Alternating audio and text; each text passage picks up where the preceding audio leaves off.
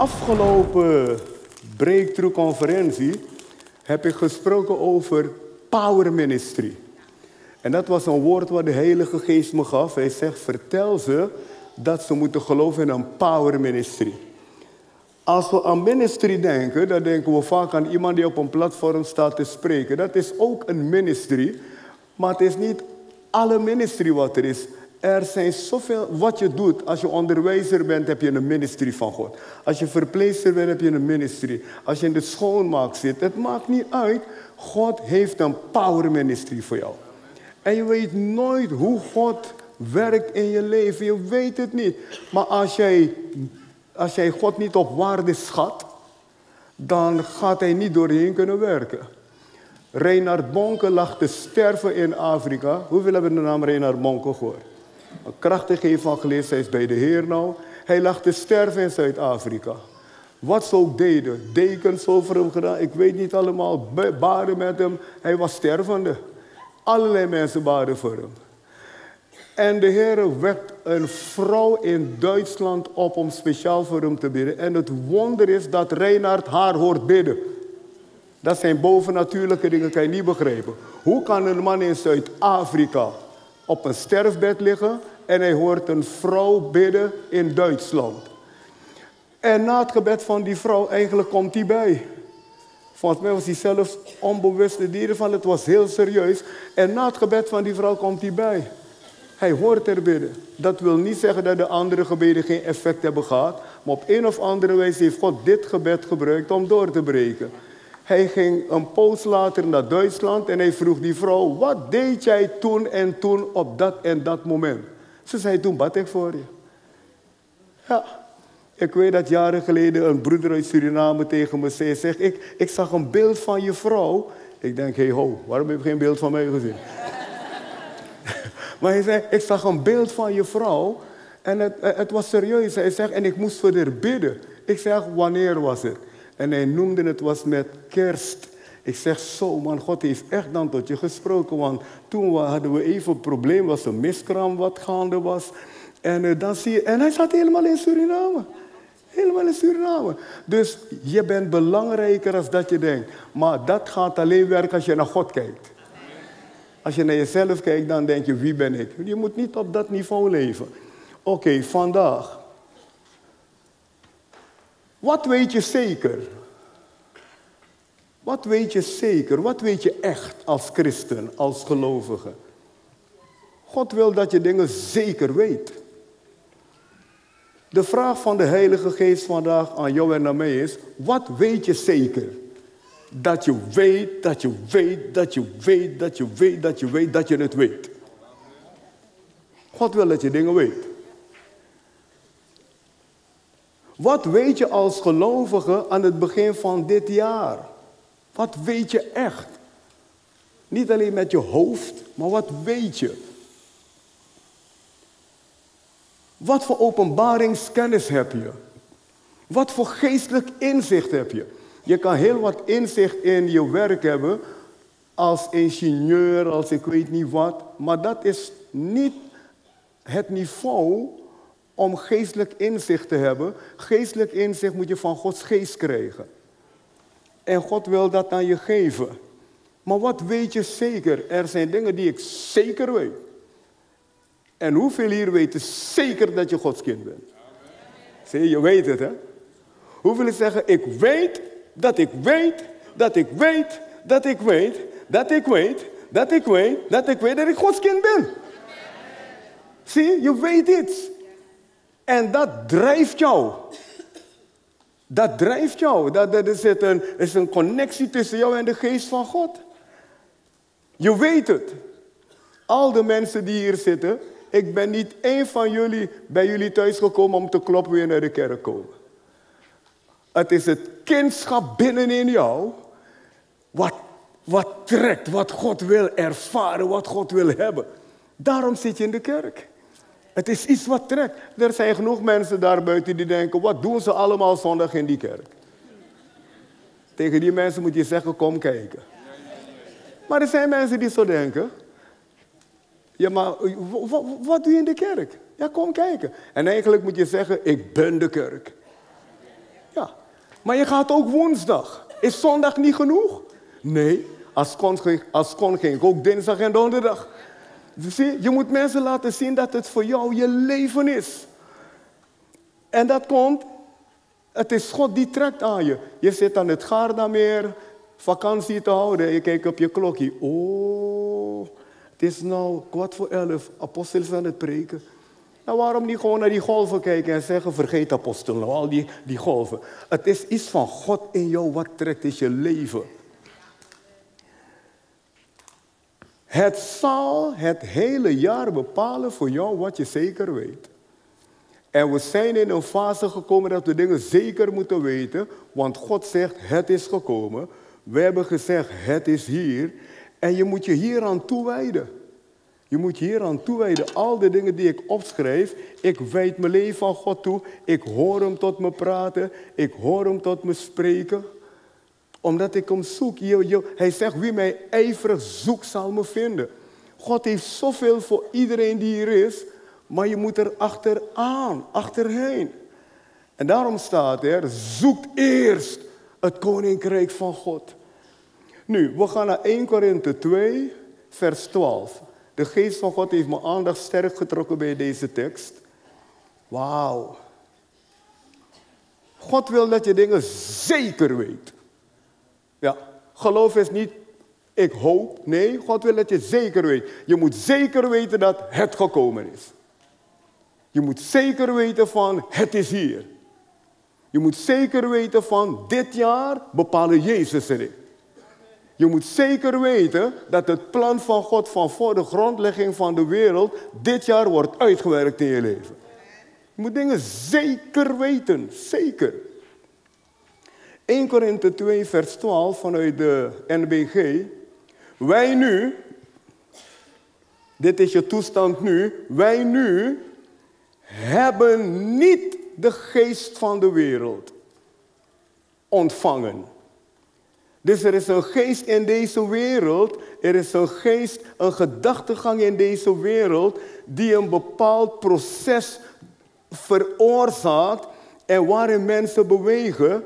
Maar Gods kinderen hebben een andere route en dat is door de geest van God. Wij nu hebben niet de geest van de wereld ontvangen, maar de geest met de hoofdletter uit God opdat wij zouden weten wat ons door God in genade geschonken is. Weet jij wel wat God je gegeven heeft? Er staat hier dat God ons iets geschonken heeft. God heeft ons genade geschonken.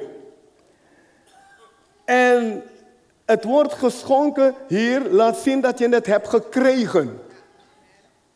God heeft elke gelovige leven gegeven. Zoe gegeven. Zozo gegeven. Daarvan moet je overtuigd zijn.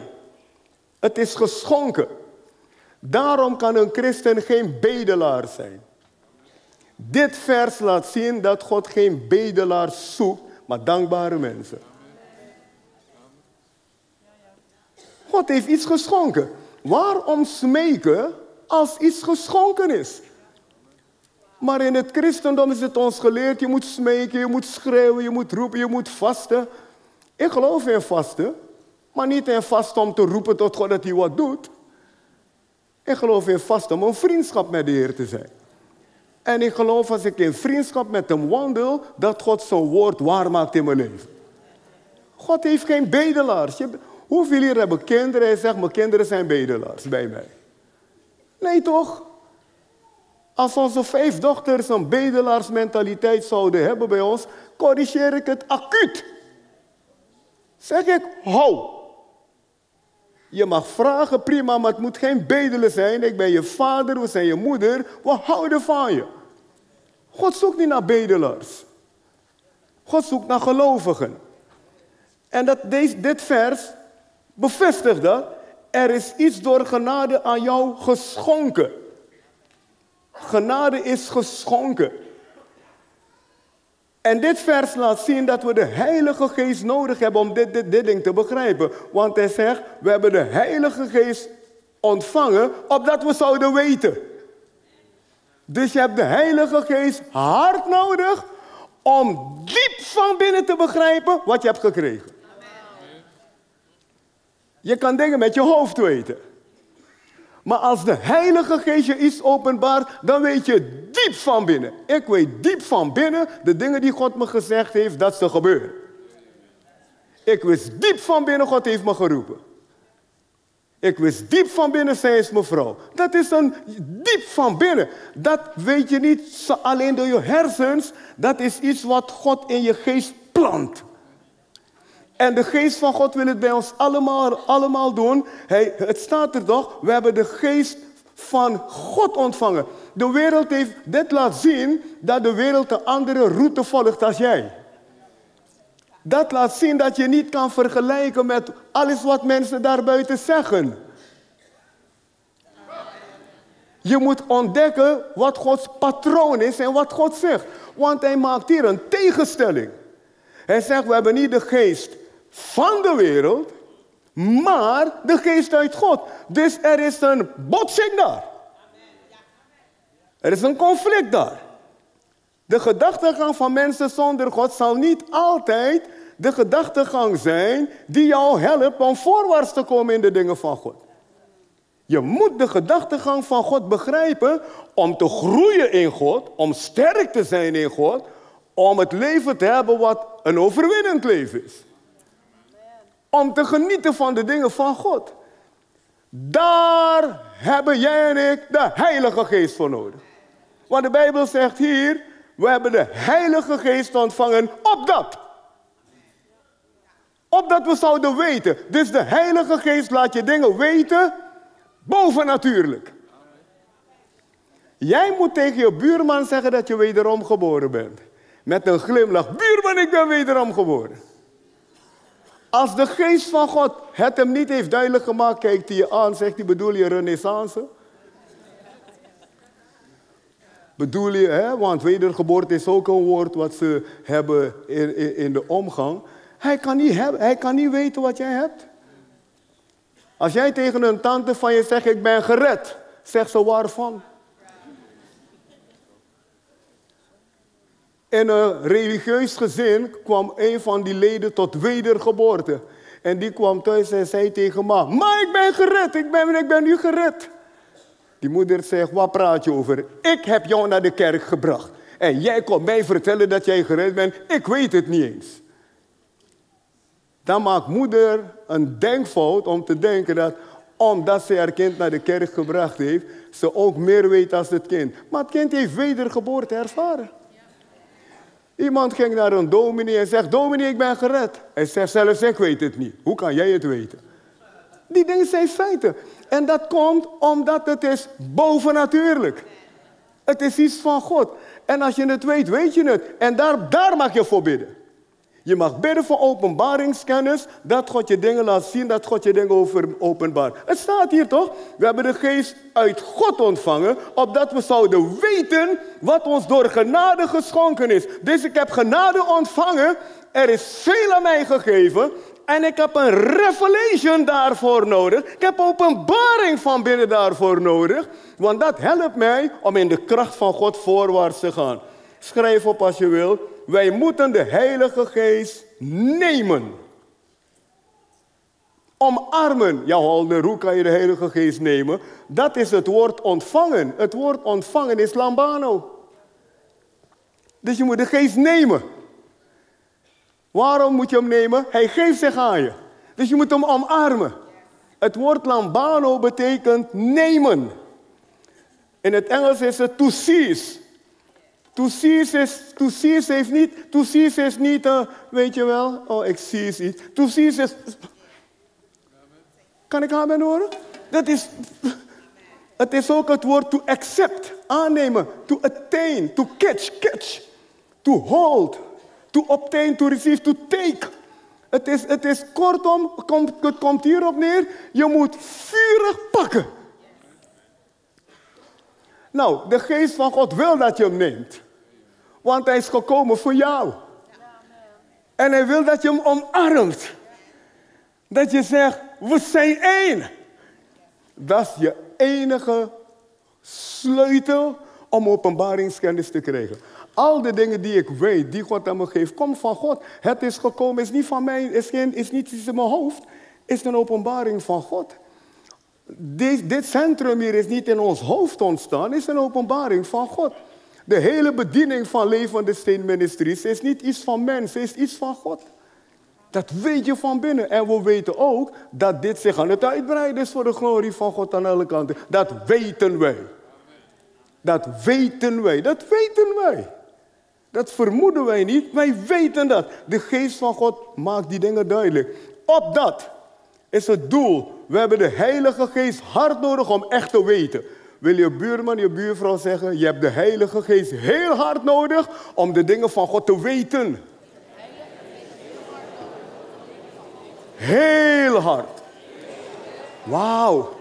En God wil dat je dingen weet. Daarom is de titel van deze preek, wat weet je zeker? Wat weet je zeker? God wil dat je dingen zeker weet in een onzekere wereld. Hoeveel zin dat die wereld onzeker is? Ik luister naar het nieuws en al die dingen. En als ik die dingen hoor, denk ik, ja, dat is vandaag zo. Wie zegt dat morgen zo is? Ik pin me er niet aan vast. Ik hoor het. Ik wil geïnformeerd zijn. Maar ik laat me niet altijd erdoor leiden. Want ik weet dat het is op en neer, heen en weer. Die wereld is onzeker. Maar bij God vind je zekerheid. Vroeger zongen we een lied, volle verzekering. Je, jullie kennen het, hè? Volle verzekering. Jezus is mij, niet halve verzekering, volle verzekering. Jezus is mij. Wat geeft dat? Rust aan volzaam gemoed. Zie je, die dingen zitten elkaar vast, hè? Wat, wat, wat, wat geeft dat? Rust aan volzaam gemoed. Dat lijkt wel een wonderwoord vandaag de dag, rust in deze wereld.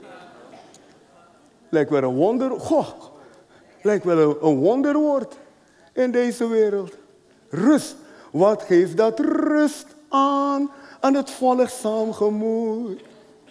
Wauw. Heerlijk, hè? Volle verzekering. Jezus is mij. Ik leef in een moeilijke wereld, wat onwankelbaar is.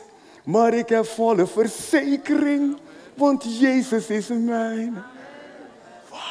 Wauw. Onderschat dat niet. Dat, dat maakt dat je blij wordt.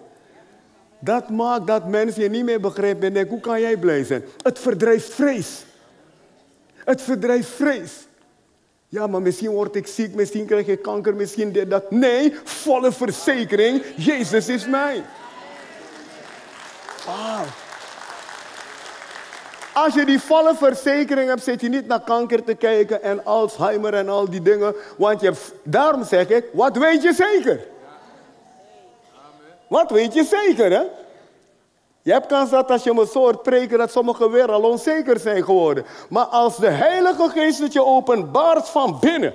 Van, hé, hey, jij bent niet voor Alzheimer en voor kanker en al die dingen. Maar het is Ruach Elohim. Je bent hier voor de glorie van God. Komt er rust en vrede voor het volk saamgemoed. Geef daar de glorie, man. Wauw. Er is mij gezegd, jij loopt nooit vast. Wat de nood ook is, ik help je. Dat is een zekerheid in mijn geest. Dus wat er ook gebeurt, ik blijf daarop staan. Hij heeft het gezegd. Ik kreeg een visioen toen ik in Schiedam voorganger was. Ik stond op het platform. En de Heer sprak vanuit de hemel. Edgar en Irma, wees zijn geen ding bezorgd. Nou, dat is niet aan dove man zorgen gezegd. Dus wat er ook komt, ik zeg, Heer, u heeft het gezegd. Ik doe wat ik moet doen om eruit te komen, maar ik kan niet vastlopen. Je moet dingen weten. God wil dat je dingen weet. Jezus wist dingen. Jezus wist dingen. Paulus wist dingen. Petrus wist dingen. De profeten wisten dingen. De profeten wisten dingen. Jij kan dingen weten. Niet alleen met je hoofd, maar diep daarvan binnen dat je weet. God heeft mij dit gezegd en dat betekent dat het niet anders kan gaan, want wat God zegt gebeurt als ik geloof. Dat heb je nodig voor het is gekomen. Want je kan zeggen het is hier, maar als het begint te bewegen om je heen en te schudden om je heen en je bent niet overtuigd dat het hier is, dan ga je plat liggen. Maar als je overtuigd bent van binnen, door de geest van God dat het hier is, dan zeg je, het is nu shaky om me heen, het stormt om me heen, maar het moet rustig worden, want het is gekomen en het is hier. Wauw. Och, ik hoop dat je dit begrijpt. En daarom staat er, je hebt de Heilige Geest nodig, waardeer Hem. Oh Jezus. Je krijgt een ander soort leven, man. Ik ben niet tegen televisie kijken, ik kijk ook televisie. Maar als je meer televisie kijkt, als dat je mediteert en met God bezig bent, gaat televisie je besturen. En ik weet niet of je dan zo goed uitkomt. Maar je kan beter vol zijn van de dingen van God. De Bijbel kan je vandaag lezen. Je kan het horen. Je hebt de Max McLean, Listeners Bible. Ik geef het je gratis. Max McLean, Listeners Bible. Je vindt het op YouTube. En dan kan je van Genesis tot en met openbaring gaan met drama erbij. Het is alsof God tot je praat. Hoeveel kennen het? Als ik zit te sporten en dat ding, het is alsof God tot me praat. Het gaat diep in mijn geest, het zakt van binnen. Vandaag de dag heb je geen excuus hoor, van ik heb geen tijd om de Bijbel te lezen. Je kan de Bijbel lezen terwijl je joggen bent. En in de beginnen schiep God de hemel en de aarde. De aarde nu was woest en ledig.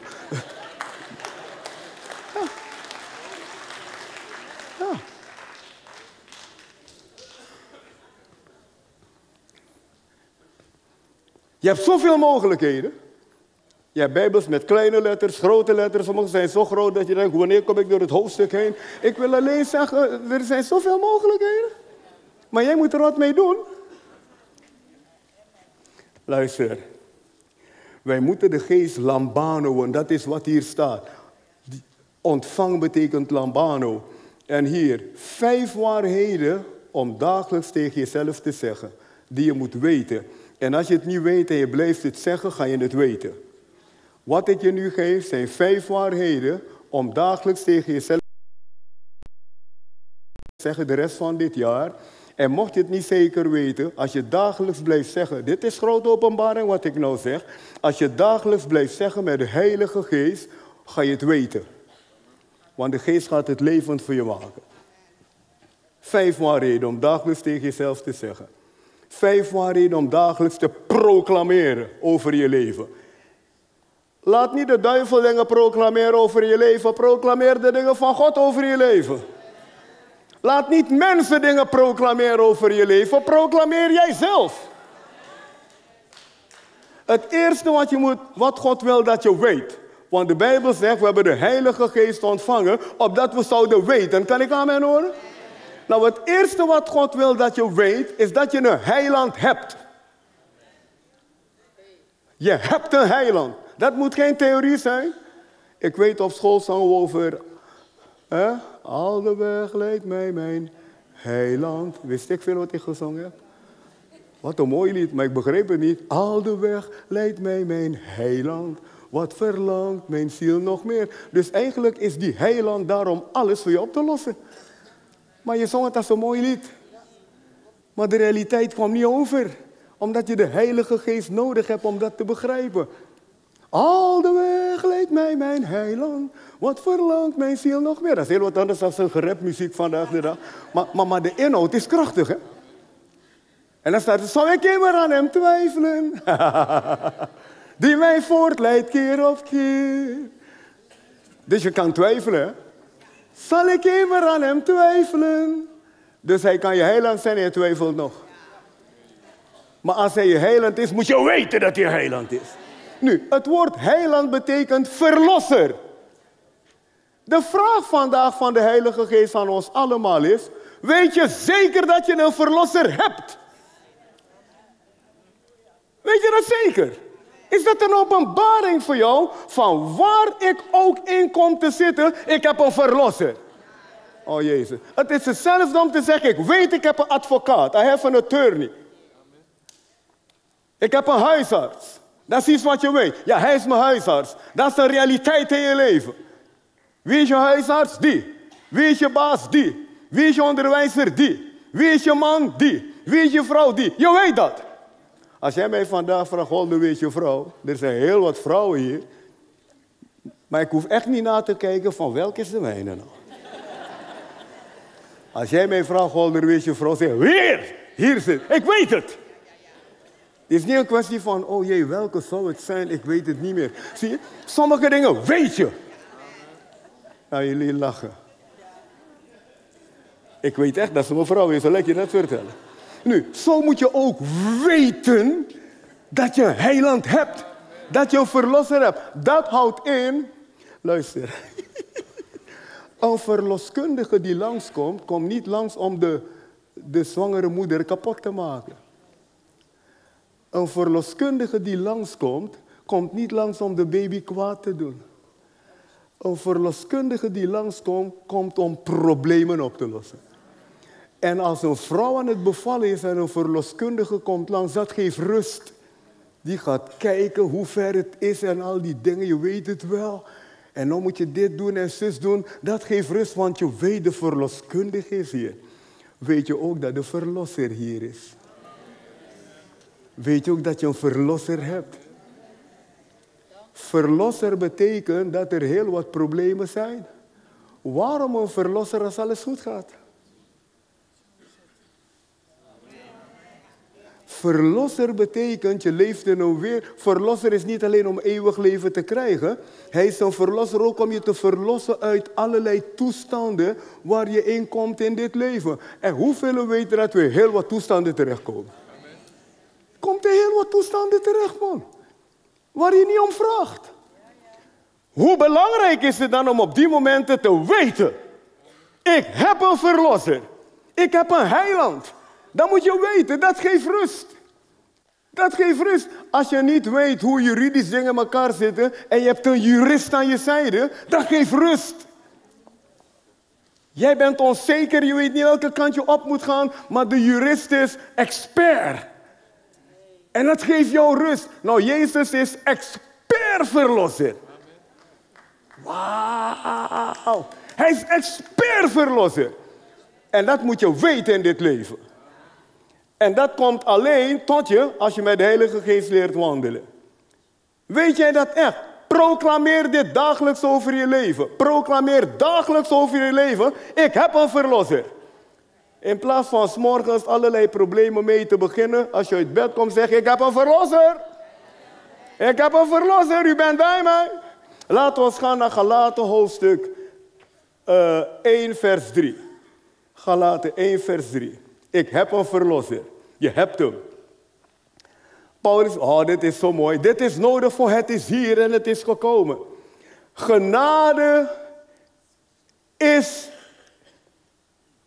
van jou en vrede van God. Want hier staat, genade zij u. En ik zeg het een beetje uh, in, spreektaal. Eigenlijk zegt Paulus hier, genade is van jou. Genade en vrede van God is van jou. En let op wat hij zegt. Eigenlijk zegt ik wens het je toe, maar tegelijkertijd zegt het is van jou. Daarom kan hij het je toewensen. Hoeveel hier weten dat genade van jou is? En genade is de rijkdom van God. Hij zegt hier, genade is van jou en vrede is van jou, van God, onze Vader en van de Heere Jezus Christus. Hier zegt Paulus, Jezus Christus is van jou. Jezus Christus is van jou. Heerlijk. Hoeveel kunnen zeggen, Jezus Christus is van mij? Dan zeg je, de verlosser is van jou. Dan zeg je, de heiland is van mij. En daarom moet je de Heilige Geest omarmen, zodat hij ook de verlosser kan zijn voor jou. Oké, proclameer dit over je leven. Proclameer dit. Proclameer dit. Het tweede wat je moet weten, is dat de hemel de plek is waar jij woont. Nou, ik woon aan de burgemeester Patijnlaan. Ja, dat is hier op aarde. Maar hoe zit je geestelijk? Waar woon je geestelijk? Nou, het eerste is dus heiland. Het tweede is hemel. Het zijn vijf H's. Hemel. Nou, Efeze 2 vers 6 laat zien dat je moet weten waar je woont. Je moet het weten. Dat moet de openbaring voor je zijn. Efeze 2 vers 6 MBG. En hij heeft ons mede opgewekt Zie je? Mede opgewekt. God heeft ons mede opgewekt. Weet je dat je bent mede opgewekt met Jezus? En hij heeft je mede een plaats gegeven in de hemel. In Christus Jezus. Dus jouw plek is in de Verlosser en jouw plek is in de Heilige Geest. Christus Jezus betekent Heilige Geest en Verlosser. Jouw plek en mijn plek is in de Verlosser en in de Heilige Geest. Let op, hier staat, God heeft jou die plek gegeven. Maar het feit dat God jou die plek gegeven heeft, wil nog niet zeggen dat je daar bent. Je moet zelf kiezen om daar te zijn. Kan ik aan mijn horen, mensen? Het staat er toch? Het staat er. Hier. Hij heeft ons mede opgewekt. Dus toen Jezus uit het graf kwam, is dat Harolder ook meegekomen. Holder was eerst dood en verloren, maar toen ik Jezus aannam, ben ik ook uit het graf gekomen. Ik ben opgewekt met hem.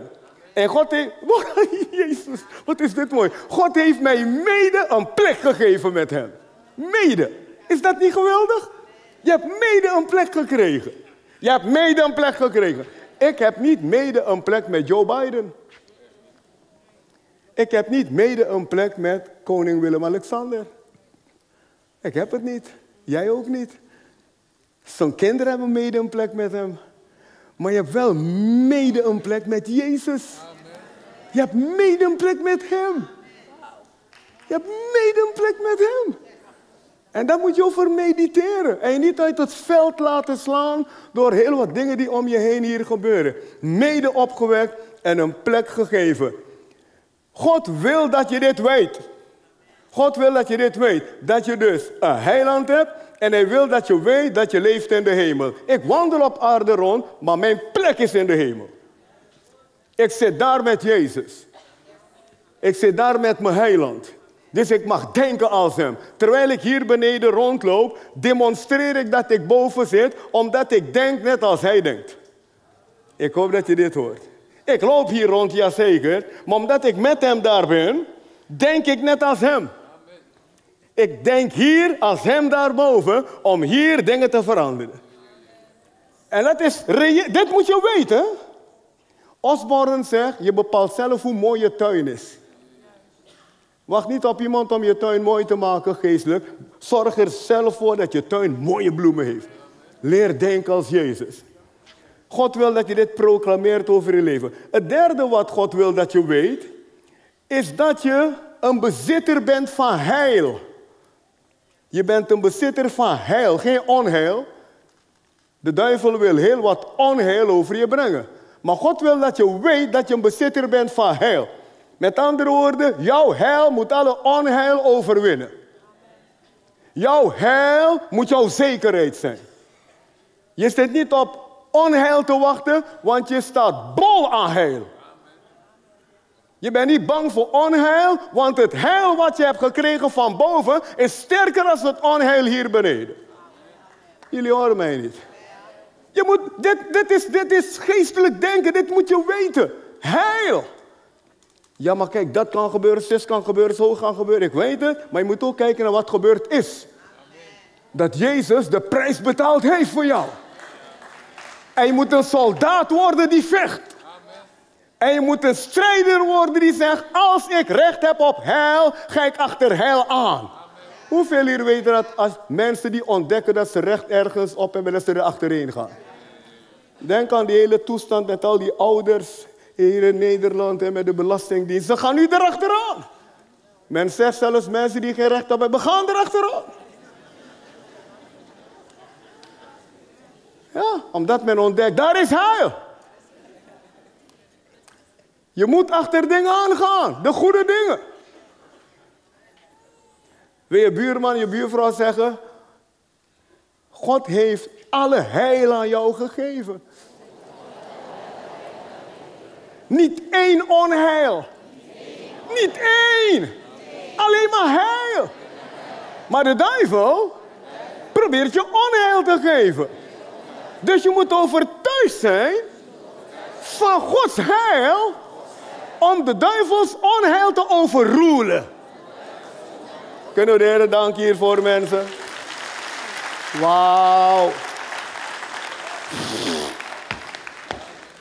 Heil, heil, heil. Heil als ik slaap, heil als ik in de auto ben, heil als ik op een cruiseschip zit, heil als ik in een vliegtuig zit, heil in mijn gezin, heil in het zwembad, heil op het werk, heil voor, heil na. Heil en goede tierenheid zullen mij volgen al de dagen van mijn leven. Woe! Heil, je moet dat ding naar je toe trekken. Weet je dat je dingen naar je toe kan trekken? Je kan ook verkeerde dingen naar je toe trekken. Je kan ook verkeerde dingen naar je toe trekken. Je kan ook verkeerde dingen naar je toe trekken. Je moet zorgen dat er goede dingen komen. Heil en goede tierenheid zullen me volgen. Ja, als ze me ontslaan, geen punt. De Heer heeft een beter baan voor mij. Ik zit niet te wachten op ontslag hoor. Maar mocht het toch komen, ga ik niet zenuwachtig zijn en bang zijn. Hé, hey, je moet tot dat punt komen. En zeg ik ga niet zenuwachtig zijn en bang zijn. Want God heeft mij heil hij heeft mij heil beloofd. Als God mij heil beloofd heeft en ik zit te janken als ze mond slaan, is er iets aan de hand met mijn geloof. Jullie horen me niet. Als iets op je lichaam komt, en het, ik, ik heb mensen gezien dat iets op hun lichaam kwam en in hun lichaam was wat niet leuk was, maar ze waren zo overtuigd van heil dat het ding weer de, de, de laan uit is gegaan. Maar dit komt alleen, zie je, dat, dat staat eentje dit heeft meegemaakt. Dit komt alleen als je de Heilige Geest omarmt. Dan ga jij, zie je, in hoogvliet dat ik nu over de banken gelopen.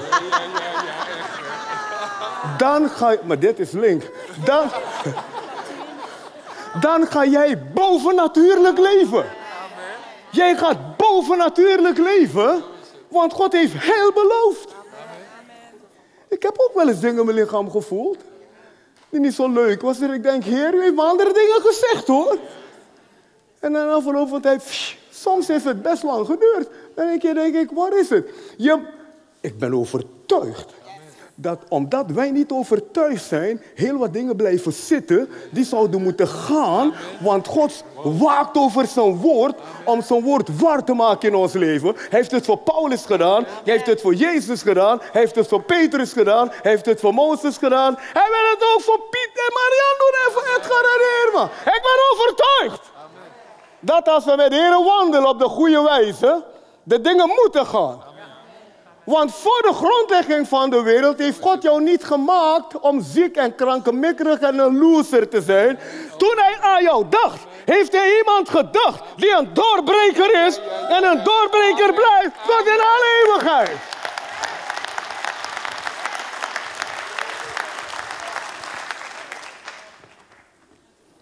Je gaat afronden. Wauw. Ik verwacht dat ook als ik ouder word, ik fris en groen blijf. Iemand zei, ja, ik ben al 63. Wil je ophouden jij?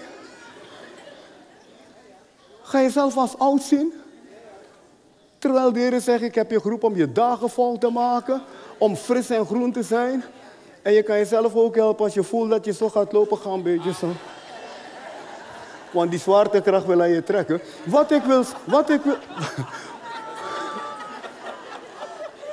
wat ik wil zeggen is, jouw geschieden naar jouw geloof. Geef de glorie, man.